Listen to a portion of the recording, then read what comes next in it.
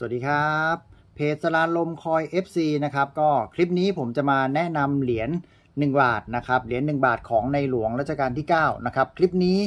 คือมาแนะนำเหรียญก่อนนะครับ ยังไม่ได้นำเหรียญแบบยังไงอะให้ข้อมูลก่อนนะครับว่า ลักษณะคุณสมบัติของเหรียญ1 บาทแบบปกติเป็นยังไงนะครับเหรียญ1บาทของในหลวงรัชกาลที่9นะครับหลายๆ ท่านก็พอรู้อยู่ว่ามีอยู่ 2 แบบนะครับ รูปแบบแรกนะครับก็จะเป็นรูปแบบของอในหลวงพระเศียรเล็กแบบนี้นะครับ ในหลวงรัชกาลที่9นะครับ อันนี้คือผมมาแนะนำเบสิกพื้นฐานเลยนะครับว่าเหรียญ1บาทมีอยู่ 2 แบบนะครับของในหลวงรัชกาลที่ 9 คือแบบที่ 1 ออกมาก่อนนะครับ เป็นรุ่นของในหลวงพระเศียรเล็กนะครับ แล้วก็มีออกมาอีกรุ่นหนึ่งก็คือของในหลวงรัชกาลที่ 9 แบบพระเศียรใหญ่แบบนี้นะครับ เปรียบเทียบดูนะครับ อันนี้คือ แตกต่างกันนะครับ หลายๆ คนยังสับสนนะครับ เดี๋ยวเอาพื้นฐานก่อนนะครับ แล้วเดี๋ยวคลิปต่อไปผมจะมาแนะนำเรื่องความผิดปกตินะครับ คุณสมบัติทั่วไปของเหรียญรุ่นเก่านะครับ ผมขอพูดว่าเป็นเหรียญรุ่นเก่าแล้วกันนะครับ เหรียญรุ่นเก่าพระเศียรเล็กนะครับ คุณสมบัติก็คือแม่เหล็กดูดไม่ติด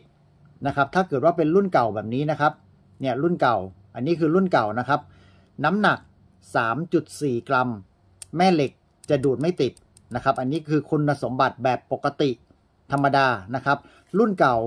แม่เหล็กดูดไม่ติดนะครับ ส่วนรุ่นใหม่ที่ออกมาทีหลังนะครับ ของในหลวงรัชกาลที่ 9 ที่เป็นในรูปแบบของพระเศียรใหญ่แบบนี้นะครับ เหรียญ1บาทรุ่นใหม่ จะน้ำหนัก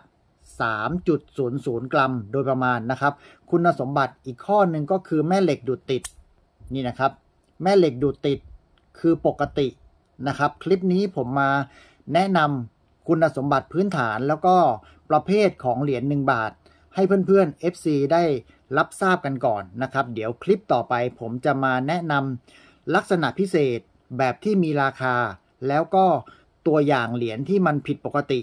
ของเหรียญ1 บาททั้ง 2 รุ่นนะครับ ย้ำอีกครั้งนะครับ ง่ายๆเลยนะครับ เหรียญรุ่นเก่าพระเศียรเล็กแบบนี้ แม่เหล็กดูดไม่ติดนะครับ เหรียญรุ่นใหม่ พระเศียรใหญ่แบบนี้แม่เหล็กดูดติดนะครับ อันนี้คือคุณสมบัติปกติพื้นฐานของเหรียญ1บาทนะของในหลวงรัชกาลที่ 9 ทั้ง 2 รุ่นนะครับ